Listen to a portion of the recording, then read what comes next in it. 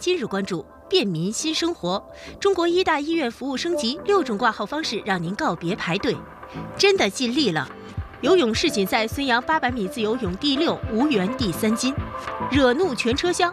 火车霸座男殴打他人，阻碍执法被刑拘二十天，给予其行政拘留二十日，并处四百元罚款的处罚。满满正能量，乘客误把三十二元支付成三千二百元，滴姐多方寻找将钱返还。刚才把微信加上了，也退给他了，哈哈，心里觉得踏实多了。安全启示录，找黑陪练上路图省钱，被发现罚款又拘留。取得科目一、科目二的考试之后，呃，取得呃学习申请人的这资质，然后才能够上到呃练车。家长请留意：一岁女童呕吐高烧不退，只因吞下这种网红玩具。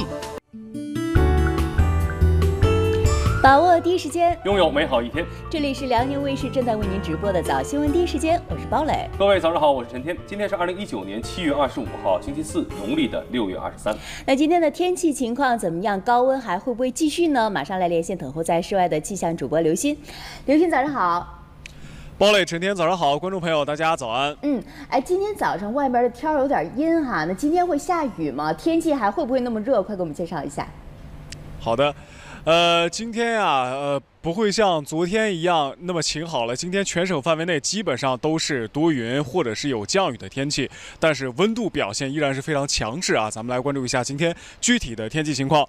今天呃，可以说全天除了大连和。呃，盘锦是多云的天气之外，其他城市基本上都会有雷阵雨降下。在这里要格外的关注一下抚顺的天气。抚顺呢，今天会达到中雨的级别，可以说降雨量是相对较大。呃，虽然说是有降雨，但是依然压制不住这个高温的势头啊。各个城市白天的最高温度基本上都在三十三度左右。今天白天除了丹东相对凉快，呃，最高温度二十九度之外，其他城市呃都是在三十一二度、三十三度左右。最高是出现在朝阳，会达到三十四度。那入夜之后的温度呢？呃，也不低啊，各个城市基本上都在二十五度左右。呃，我们来关注一下风力的情况，风力跟昨天差不多，而且未来几天也依然是这样的节奏。各个城市基本上都会刮起三到四级的西南风啊，这个风刮起来啊，呃，并不像春天或者秋天那么凉快啊，刮的都是热风。等到了明天的时候，雨过天晴，温度依然表现非常强势，各个城市白天的最高温度还是在。在三十三度左右，入夜之后还是在二十五度左右，呃，还是要重点关注一下风力。明天的风力依然不小啊，这个三到四级的西南风还是会继续刮。我们再来关注一下沈阳现在实时的天气情况。现在沈阳户外虽然说是阴天啊，但是温度并不低。现在沈阳的户外温度呢是达到了二十七度，相对湿度呢是百分之七十三，呃，PM 二点五指数呢是三十微克每立方米，空气质量优。这样的天气条件较适宜晨练。好，这一时段的天气咱们先了解到这儿。好的，刘星，我们一会儿见，来关注新闻。到大医院看病呢，很多人都有这样的感受，就是挂号等待和缴费时间长，看病时间短。为缓解这种三长一短的就诊状况，中国医大医院继全面实施网上预约挂号后，最近又将门诊自助设备进行了全面升级。今天的号我想挂一下，好，点一下当日挂号，选择登录方式，身份证可以，可以。请将信息是否为患者有关，选择一个医生，可以用医保或者银行卡支付。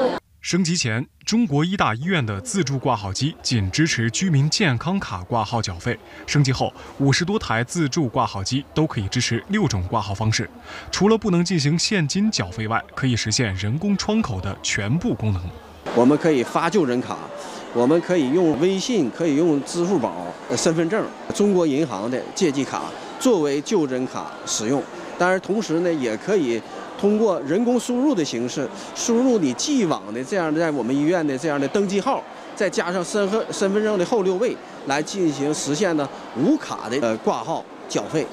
据了解。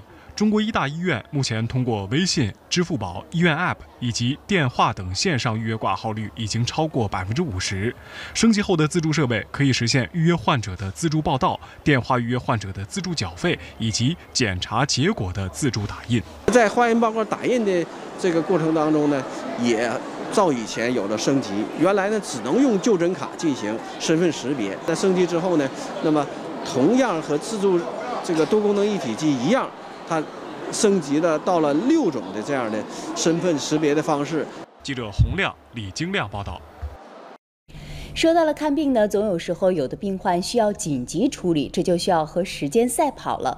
从营口鲅鱼圈到沈阳跑高速的司机应该都知道，时间大约需要两个半小时左右。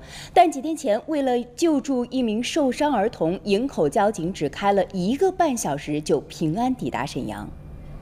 那是七月十五号晚上七点五十分左右，正在路面执勤的营口经济技术开发区交警大队中队长裴作林接到指挥中心的指令，有一名在鲅鱼圈游玩的七岁男孩意外摔伤，颅骨骨折，情况十分紧急，家属请求民警护送到高速。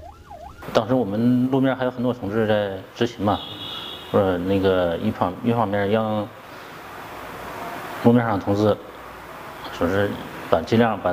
他经过这个路面，尽量的疏导一下，给留出空间来，让他顺利通行。一面我就驱车就赶到跟他会合，啊，一路护送到那个高速口。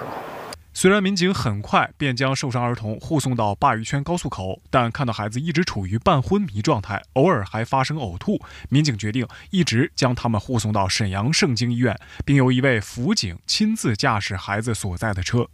为了赶时间，我们也顾着别的了。在高速上呢，我们车速呢一直都是一百六到一百八。晚上九点半左右，受伤男孩安全抵达盛京医院，民警将孩子抱起来直奔急诊室，亲自送到医生手中。我们到医院之后，呃，经医生诊断，嗯，孩子当时情况是重症颅骨骨折，啊，我们送治的比较及时，呃，孩子情况还是比较乐乐观的。现在正在呃盛京医院进行治疗。救人如救火，一刻也不能等，也等不得。就像几天前在山城本溪，一场大雨让本溪的山路斜坡更加难行。裴先生一家人为了筹备婚礼，选择了风雨兼程，没想到意外与一辆大型专项作业车相撞了，一家人都困在了车里。危难之际，当地驻军某部官兵发现情况，及时赶到了。这天傍晚，裴先生一家驾车行驶到本溪市桥头镇一路段时，迎面而来的大型专项作业车突然侧滑至对面车道，将他的车狠狠地挤压在路边的墙壁上。从视频中可以看到，此时车已经严重变形。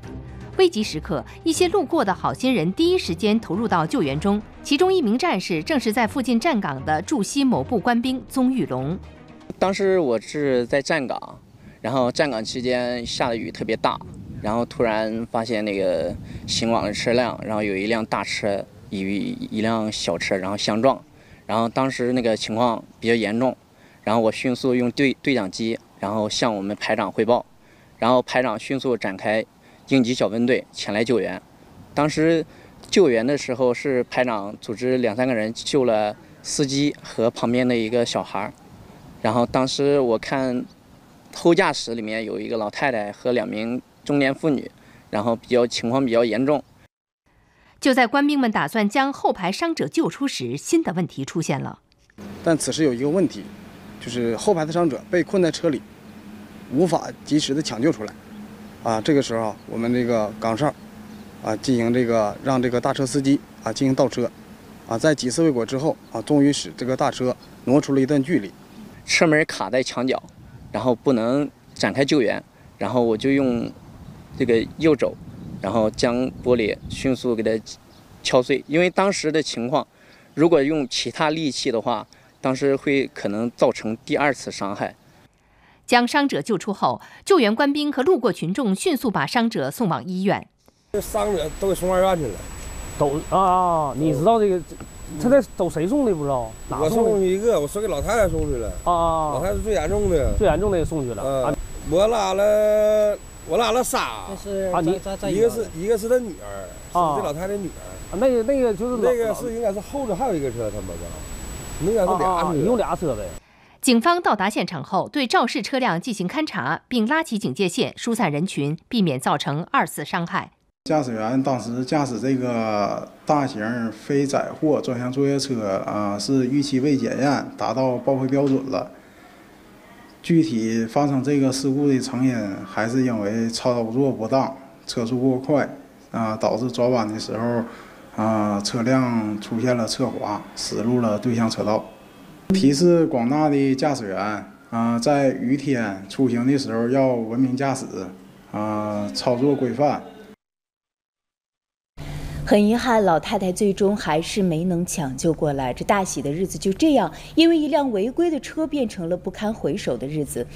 感谢子弟兵们的及时救助，才没有让悲剧继续蔓延。好，继续来关注体育方面。昨晚在韩国光州进行的2019年国际游泳世锦赛结束了男子800米自由泳决赛的争夺。中国选手孙杨以7分45秒01的成绩获得了第六名。前600米，孙杨明显保持自己的节奏和速度在游，排名一直比较靠后。后200米，孙杨开始加速。连续超越两名选手，最终他以七分四十五秒零一的近四年最好成绩获得了第六名。至此呢，孙杨在本届世锦赛三个个人项目全部是结束了，一共获得了两项冠军和一项第六名。意大利选手帕尔特里涅利获得了冠军，这是他个人首次赢得该项目世锦赛的冠军。另外呢，在昨晚进行的女子五十米仰泳的半决赛中，世界冠军傅园慧以零点零五秒的微弱劣势，总排名第九，无缘决赛。看傅园慧的出发动作，水下蝶泳腿，水下蝶泳腿频率很快。是的，傅园慧率先来到水面上，她的出发反应时是零点五九秒，处在所有选手的中间。傅园慧前程还游的算是顺利，后面要冲了，还有最后的十米。好，我们可以看到在加速，陈杰也不错，加油，傅园慧，加油，陈杰。在最后时刻。凯瑟琳·贝克，这是小组第一，她的完赛成绩是二十七秒六二。傅园慧是小组第四，完赛成绩是二十七秒八四。那这样的话，呃，就是，嗯，感觉挺对不起自己教练的。然后回去继续努力吧。我觉得比不好也很正常，因为人生中大部分都是失败，所以我觉得永远不要放弃就好。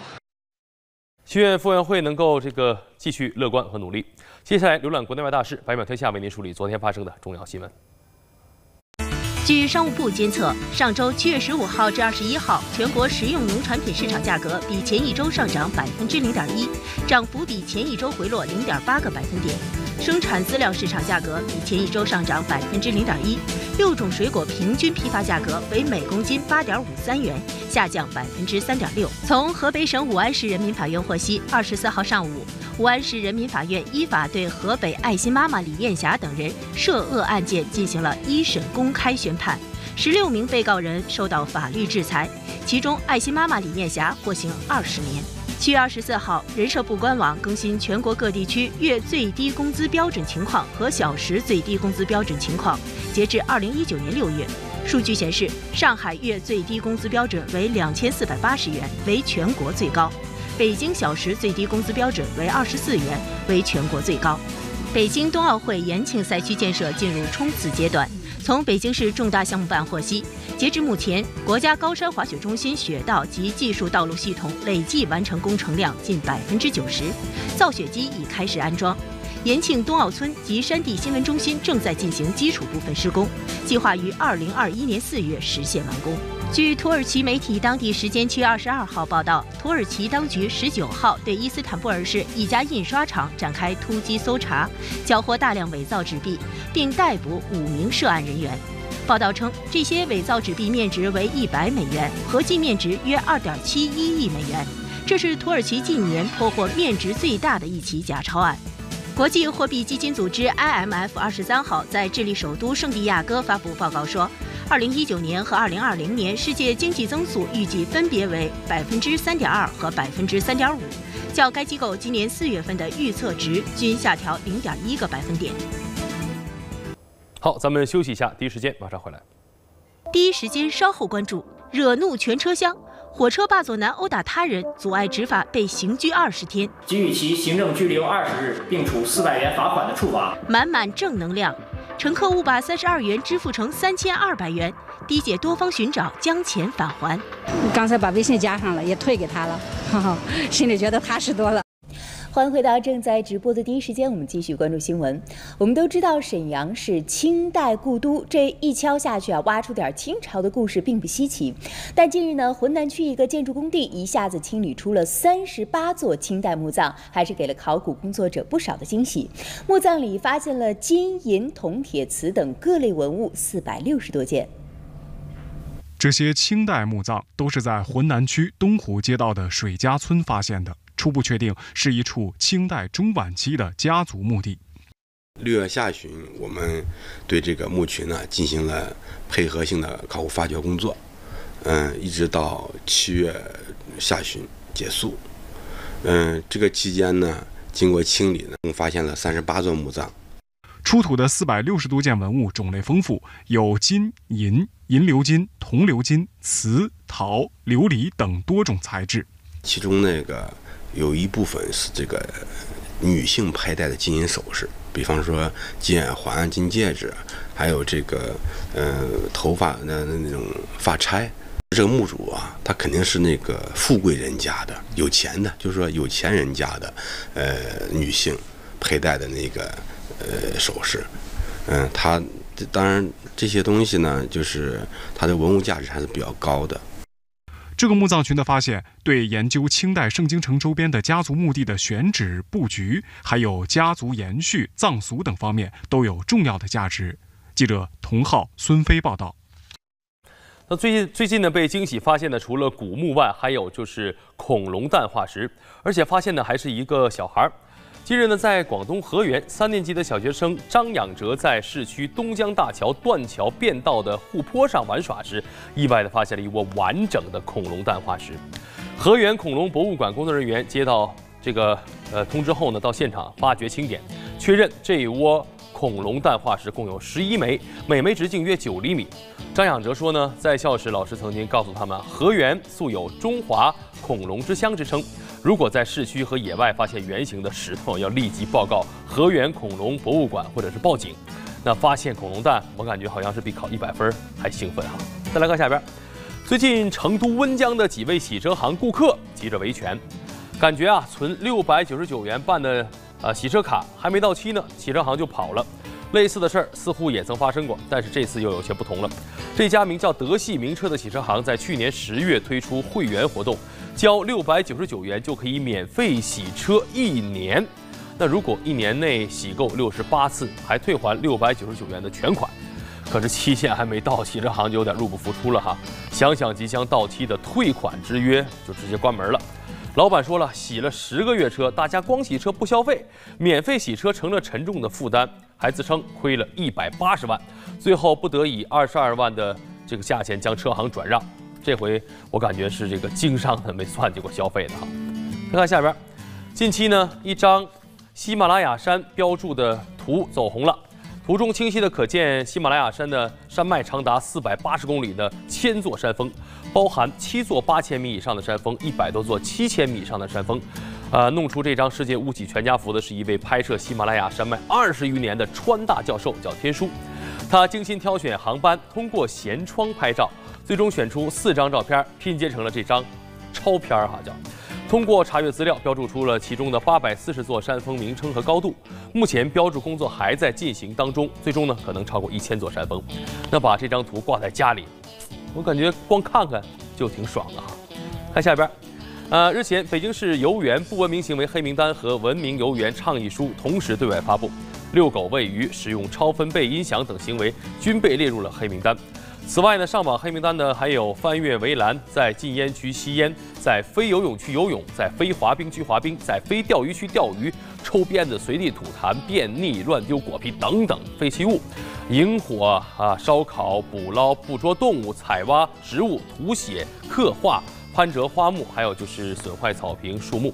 北京将对此开出罚单。那北京以外呢？我想咱们也应该和。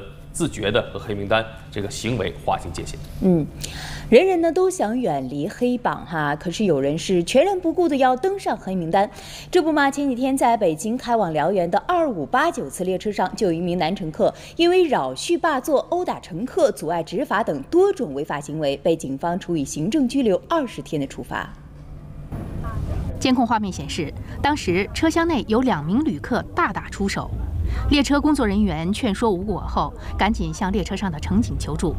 民警随即赶到现场处置。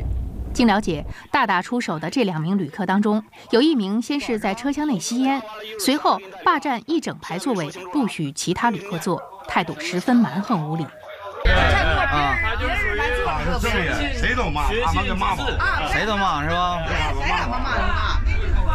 哎，我说一句话，他就过来，要这么瞅我就要搞丢掉。完了，动手那个啊，动手是他动，这桌上全他的。该旅客不但霸占了其他人的座位，在人家向其讨要座位的时候，不但不归还，还与其发生肢体冲突，动手打了对方。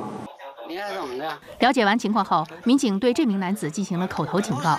然而，该男子非但不配合民警执法，反而对民警恶语相向，大打出手。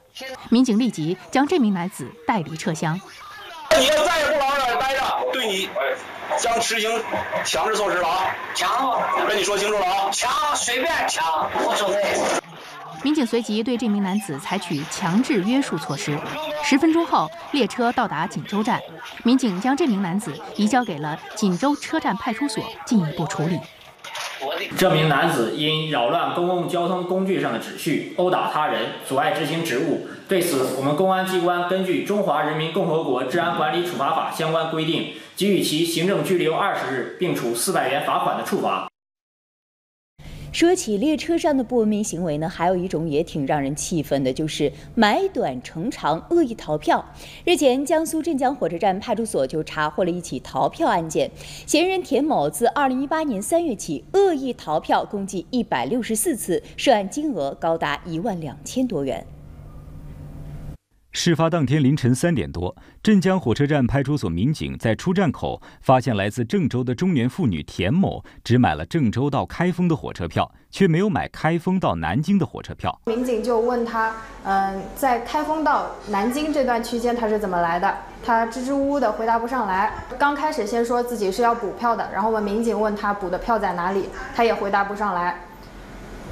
所以，我们民警就觉得他比较可疑。铁路民警通过系统查询，发现田某自2018年3月起就开始利用两头票的方式恶意逃票，往返郑州和镇江之间次数多达164次。铁路民警介绍，所谓两头票是指只买始发、中到两站的短途票用于进出站，而中间较长的区段则采取逃票的方式违规乘坐长途列车。藏在座位底下，藏在座位底下。所以这样就能够逃过乘务员的查票。经查，田某由于要经常往返郑州和江苏南部等地做生意，为了省钱，便想出了投机取巧的办法。他一次下来差不多能省到将近一百块钱，然后一百六十多次下来能省到一万多块钱，所以数额也是比较大的。目前，田某因涉嫌诈骗，已被铁路公安机关依法刑事拘留。玩这种小聪明，最后坑的还是自己哈。俗话说得好，贪小便宜吃大亏。说过了素质低的，咱们再来夸一夸这风格高的，感受一下满满的正能量。几天前呢，一位粗心乘客在宝鸡乘坐出租车时，错将三十二元支付成了三千二百元。面对百倍乘车款，的姐韩艳丽不为所动，多方寻找，最终将多收的三千一百六十八元退还。上午九点多，的姐韩艳丽在宝鸡高铁站拉了一位老人前往老火车站附近。由于目的地停车不太方便，在快要到达时，乘客提前扫了微信付款。完了以后，他下车了，我也没注意看就走了。走了以后，过了有一个多小时吧，我把车停到边上，我想想看看今天的收入啊。结果一看，怎么有这么一大一大笔收入？一天应该因为也拉不了几个三十块钱以上的活。我最后一想，应该就是这个师傅了。于是他赶紧停车向公司汇报，又在自己朋友圈、微信群里发布消息。公司方面也迅速联系行业群、运管部门和当地交通广播，一起寻找这个大意的乘客。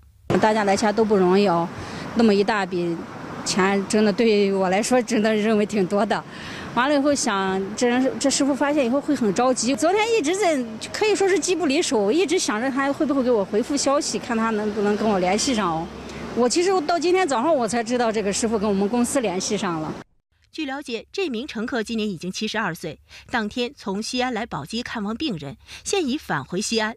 由于眼睛老花，在支付时出了错，直到宝鸡的亲戚看见出租车公司的消息转告他，他才发现自己的疏忽。刚才把微信加上了，也退给他了，哈哈，心里觉得踏实多了。哎，这算一块大石头落地了哈。咱们第一时间为观众送上的福利又来了，这一波是沈阳盗梦空间门票啊，没事没错是稻香的稻，听蛙鸣闻稻香捡鸡蛋，唱完水上的漂流水果采摘，欢乐水城亲子同乐园等等哈。沈阳盗梦空间这些传统与创意并举的乐园，超话。是超适合这个全家人出游，咱们可以扫描二维码加入第一时间生活体验官微信群啊，参与咱们互动抽奖，您就有可能抽到沈阳盗墓空间的门票。趁北方短短的美丽夏日，赶紧去看看七彩的稻田画，体验不一样的水稻文化，感受艺术与自然的魅力。那接下来呢，我们一起来关注省内新闻，看看今天的百秒辽宁。省统计局昨天发布经济数据显示，初步核算，上半年全省地区生产总值一万两千零四十三点四亿元，按可比价格计算，同比增长百分之五点八，全省经济运行总体平稳，稳中有进。记者在省征兵工作电视电话会议上了解到，今年全国征兵工作从八月一号开始，至九月三十号结束。征集对象以高中含职高、中专、技校毕业以上文化程度青年为主，重点做好大学毕业生和大学新生征集工作，提高大学毕业生征集比例，优先批准高学历青年和应往届毕业生入伍。省教育厅近日下发通知，暑期将在全省集中开展在职教师有偿补课等行为专项治理行动，狠杀中小学在职教师有偿补课行为，切实解决群众和社会关心的热点突出问题。除对十种违规补课行为重点治理外，通知特别提出，对特级教师、骨干教师参与违规补课的，将从重处罚。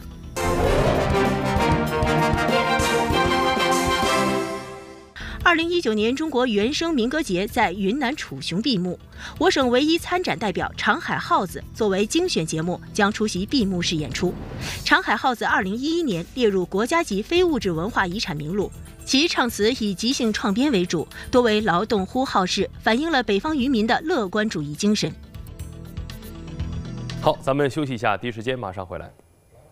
第一时间稍后关注安全启示录，找黑陪练上路图省钱。被发现罚款又拘留。取得科目一、科目二的考试之后，呃，取得呃学习申请人的这资质，呃，然后才能够上到呃练车。操作看不懂，高速上车没油了，男子一番折腾就是不报警，结果衣服湿了，钥匙也扔了。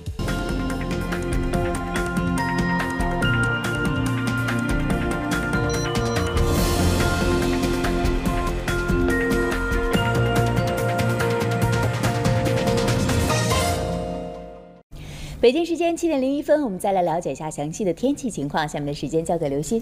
好，我们来关注一下今天全省各地的天气情况。最近一段时间，无论什么样的天气状况，都压制不住高温的强劲势头。今天除了大连盘锦之外，其他城市都会有阵雨或者是雷阵雨降下。抚顺降雨量偏大，会达到中雨的级别。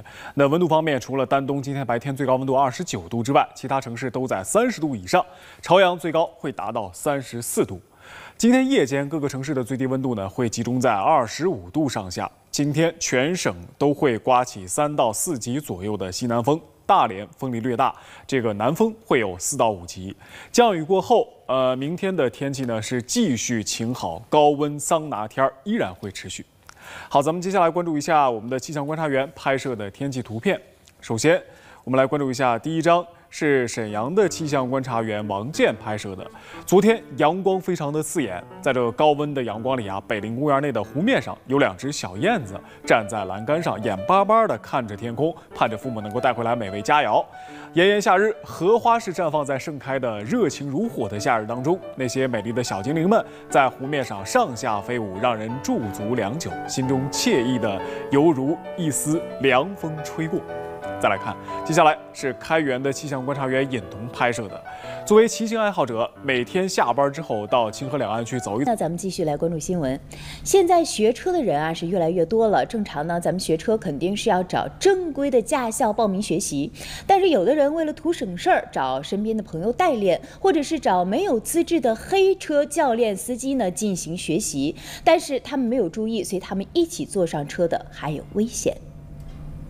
近一段时间，营口市交警支队沿海产业基地大队的民警经常接到群众的举报，在城湖西路星海大街华能电厂附近有非法教练车带学员练车。现场啊，就有发现有二十多台，呃，车在那儿练车。他们的特点呢，就是行驶速度慢，同时每一台车都有随车呃带车人员、指导人员，所以我们就把他们全部拦下来了。逐一检查，逐一筛查。民警告诉记者，由于这些路段路面较宽，车辆较少，所以有很多人到这里练车。正规的教练车需要有学习标志和警示标志，副驾驶位置上必须有制动防撞装置。但检查中，民警发现有十二辆车不具备资质。根据《道路交通法》机动车驾驶申领，呃，这个规规定的九十二条，呃，第一款的规定，呃，对教练员。和随车指导员人员为指定申请人未使用符合规定的机动车进行练车的，将处以五百元罚款，记零分。作为学员找黑教练车，除了自身安全没有保障外，还将面临更严厉的处罚。我们的学员呢，你学习这个练车之前呢，首先得到我们的驾考中心得去，呃，取得科目一、科目二的考试之后。呃，取得呃学习申请人的这资质，呃，然后才能够上道呃练车。你没有这个资质啊，呃，你上道练车就将会视为无证驾驶，呃，就将被会根据这个《道路交通法》第九十三条啊第一款第二项的规定，将会被处以两千元罚款，并处十五日以下拘留。学车要正规，开车更不能乱了规矩哈。最近一位司机的遭遇让人是啼笑皆非。这位司机开的车在高速公路上突然没油了，按理啊应该第一时间的报警求助，可这位司机的所作所为让人觉得匪夷所思了，最后还受到了民警的处罚。晚上十一点左右，湖州高速交警支队二界岭卡点大队民警在 G 五零沪渝高速巡逻的时候，发现一辆小轿车停在应急车道里，灯光全部熄灭，车子也锁着，车上空无一人，附近也没有看到驾驶员。民警担心驾驶员出事，就一直在附近寻找，找了很久。突然，一个浑身淌着水的人从护栏外的小树林里冒了出来，这个人就是驾驶员。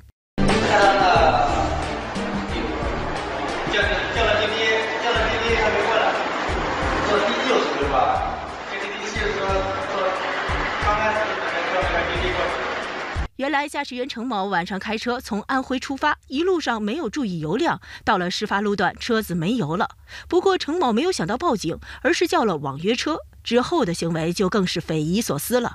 程某自己下车翻出护栏，去附近找加油站，找了半天没找到，于是打电话给家里，结果和家里人在电话里吵了起来。生气的程某把手机砸了，还把车钥匙扔了。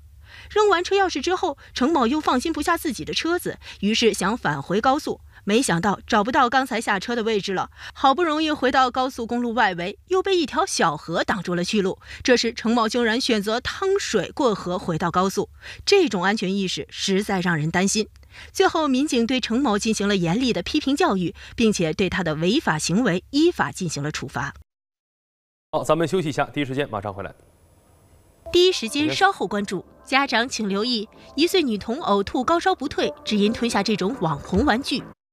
欢迎回到正在直播的第一时间。由辽宁广播电视集团和辽宁演艺集团强强联手，共同打造的“富红之夏”文化惠民广场演出系列活动，将于七月二十七号晚在葫芦岛和平广场，七月二十八号晚在锦州东湖文化广场进行。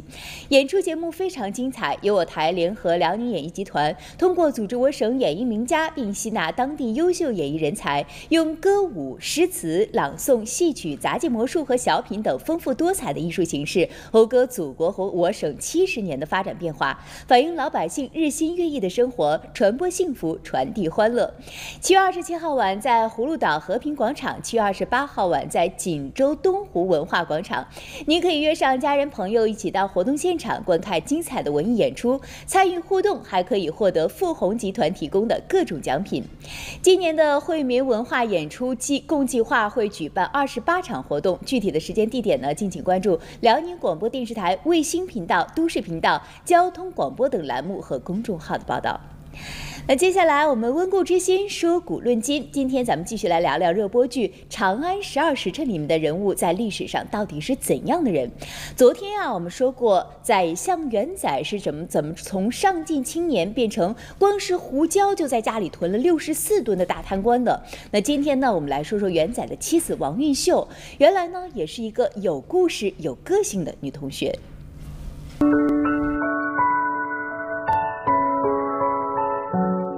这个元载的妻子叫王蕴秀啊，也是一个有故事的女同学。正史记载说她呢是当时的河东节度使王忠嗣的女儿。那么也有记载啊，说她爸爸是当时的宰相，叫王进。那么这个王进呢，他的哥哥我们很熟悉，就是大诗人王维啊。那要这么说的话呢，这个王蕴秀还是王维的侄女。啊，哦，不管说他爸爸是王忠嗣还是王进，那么这两个王啊，都属于太原的王家，在唐代这是响当当的名门望族。所以说王蕴秀呢，也是根红苗正的正宗的大家闺秀。哎，这么一个大小姐呀，却嫁给了一个穷小子。啊，元在刚刚跟跟跟这个王蕴秀结婚那会儿，还什么都不是啊，只能。住在岳丈的家里边啊，靠人家的接济过活，这让王氏族人非常看不起，连带着王蕴秀也受到了轻视。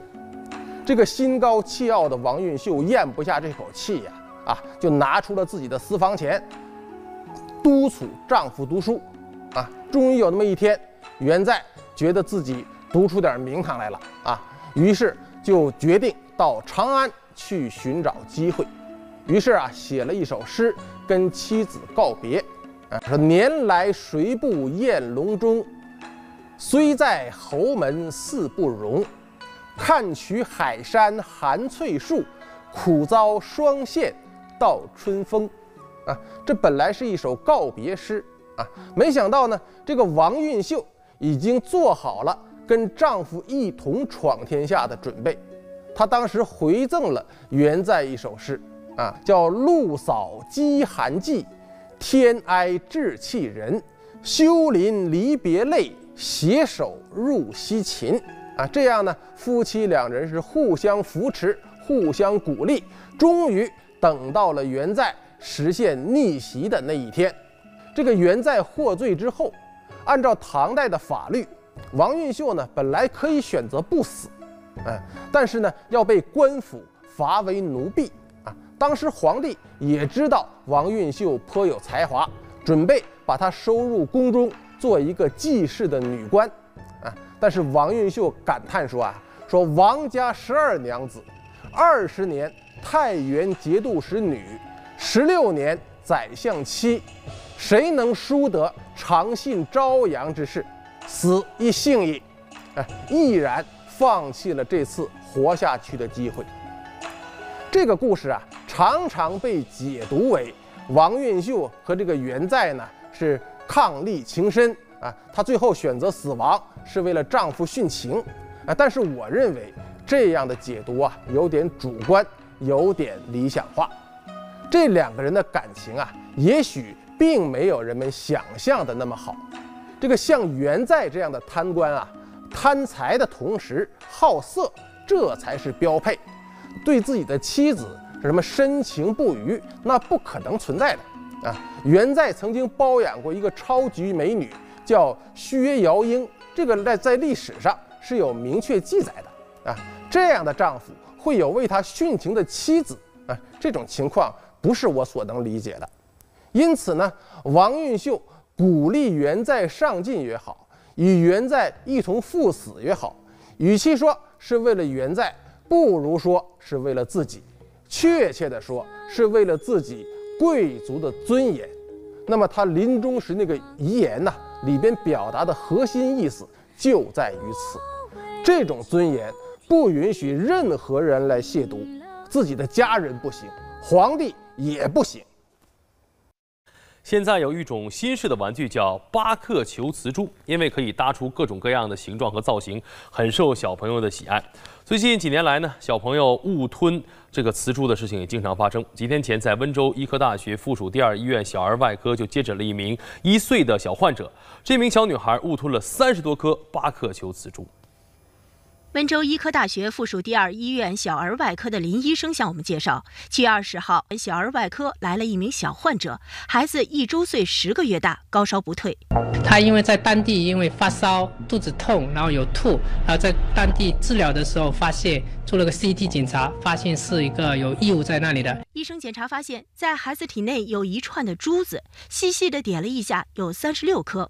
家属说，这些珠子应该是大人不在孩子身边时，孩子误吞的。其实，在吃的时候，应该是小孩子可能是一颗一颗分分开来吃的。所以说，吃到肚子里的时候，因为磁力珠嘛，因为有磁性，所以它可以相互吸引在一起，就变成了一个成串的手链一样的样子了。由于珠子的磁性很强，再加上每吞一颗都有一定的时间间隔，这些珠子在肠子的不同位置，隔着肠壁互相吸引，最后在肠道穿破肠壁连成一圈。结合他当时的症状，医生立马就给他做了个急诊手术，发现就是他肠子里面有两个小洞，实际上就是磁力珠穿孔了。目前手术已经做完了，在医院观察。现在正值暑期，家长一定要看管好家中的孩子。类似磁力珠这样的玩具，尽量不要给小孩玩了哈。还有就是家里的危险品也要保管好。最近黑龙江一个小姑娘因为喝了一口液体，差点送了命。咱们来看看。空调清洗剂我放到那个水瓶里了，在那个灶台下面放着。然后我姑娘就给喝了，喝了一口。十岁的小冉误把空调清洗剂当成了水，可这一口下去真是要命。当时就是啊，特别难受，说不出来话，脸色发青。随后，孩子被紧急送往了佳木斯医院，洗胃加重症监护。两天后还是高烧不退，就是唾液都咽不下去。当妈的用了一个月的时间，辗转哈尔滨、北京等地的各大医院，可得到的结果却让他濒临绝望。就是放弃了，就是说这孩子已经治不了了，对，就是这样了，给判死刑了，都不收了。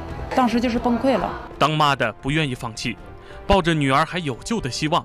最后来到了西安市儿童医院，误吞了空调清洗剂，造成食管的一个烧伤。来的时候严重到孩子咽口水都是难以下咽的，伴有不断的恶心。因为他烧伤的比较厉害，就是食管是四十厘米，他就他就有十七厘米是那个呃非常窄的，剩下边基本上就是连缝隙都没有。当时体重是一百二十斤，到现在这一个月，这孩子到我们科室来。只有九十斤，食道烧伤狭窄，这意味着吃的喝的都进不去。如果再不进行手术，就面临着生命危险。医生为小冉进行了食管扩张手术，食管入口就开始食管整个是烧伤，广泛充血糜烂的，最窄大概是个三个毫米。最终，医生给小冉留置了一个鼻胃养管，营养液就由这儿进入小冉体内。昨天鼻子难受，就是鼻子，鼻子这个管子没关系的，奶粉只要一打进去，你肚子就不饿了，你就不难受了。现在这个心情真是非常激动，就是根本就是无法用语言来表达。这个医院真是救了救了我们一家人，就是说把我们的命给救了。因为前期一个月的辗转治疗，小冉从以前的爱说爱笑变成了现在很少开口。医生也怕孩子心理压力太大，时不时的来开导和安慰，而且还邀请小冉妈妈加入科室专门的食管狭窄宝宝群，希望有同样经历的家长一起鼓励他度过这次难关。俄罗斯莫斯科动物园日前表示，今年六月在莫斯科动物园正式安家的大熊猫如意和丁丁即将迎来他们的生日，动物园将为他们举行庆祝活动。两只大熊猫如意和丁丁在俄罗斯拥有不凡的人气。莫斯科动物园方面称，动物园计划在本月三十号至三十一号期间为大熊猫们庆祝生日。据了解，两只大熊猫目前已经完全适应莫斯科动物园的生活环境。为了让大熊猫们玩得开心，莫斯科动物园最近还成立了一个新部门，专门负责为熊猫馆舍提供玩具和器具。美国纽约苏富比拍卖行本月十一号到二十三号举办了首个运动鞋线上拍卖会，共有一百双稀有运动鞋参加了拍卖，而一双为一九七二年奥运资格赛设计的月球鞋，创造了人类运动鞋拍卖史上的新纪录。这双月球鞋由耐克公司创始人之一、田径教练比尔·鲍尔曼专为参加1972年奥林匹克运动会选拔赛的跑步选手设计的，手工制作。当年共生产了12双，而参加拍卖的这双月球鞋是现在已知唯一没有被人穿过的一双，预拍价在11万美元至16万美元之间。而在二十三号纽约苏富比拍卖行最后一天的竞拍活动上，这一双球鞋竟然以四十三万七千五百美元的天价成交，约合人民币三百万元，打破了二零一七年一双匡威运动鞋在美国加州创造的十九万零三百七十三美元的公开拍卖记录。据悉，不惜高价买下这双月球鞋的买家是加拿大汽车收藏家迈尔斯·纳达尔。他同时还花了八十五万美元，将本次拍卖会上的另外九十九双稀有运动鞋收入囊中。接下来呢，我们稍事休息一下，第一时间马上回来。湖北襄阳李女士家的宠物狗最近闯祸了，家里的小主人刚写完一本暑假小偷的天堂，商店、小学和教堂都被遗弃，用木板封了起来。八年前，政府就通过了一项重建计划，欲翻修这些公寓，但是却遭到当地居民的反对。尽管破败不堪，但这里却人少安静，最重要，租金低廉。住在这儿的二十位居民拒绝离开。破是破点儿，但超低的人口密度，完胜豪宅呀！好，节目的最后呢，我们一起来欣赏古力娜扎的 MV《时光尽头》。感谢您收看今天的第一时间，我是陈天，我是包磊，第一时间，明天见，明天见。尽头。